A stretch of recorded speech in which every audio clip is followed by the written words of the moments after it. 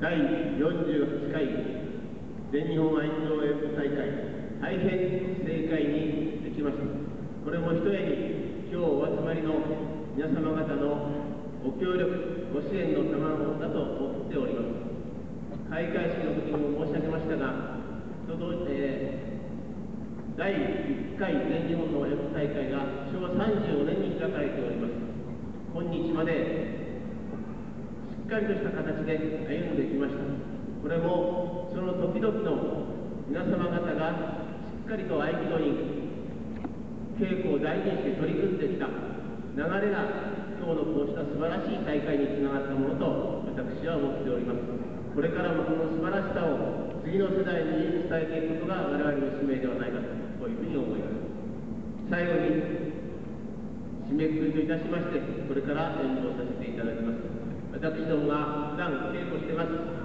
基本技をもとにやらせていただきたいと思います。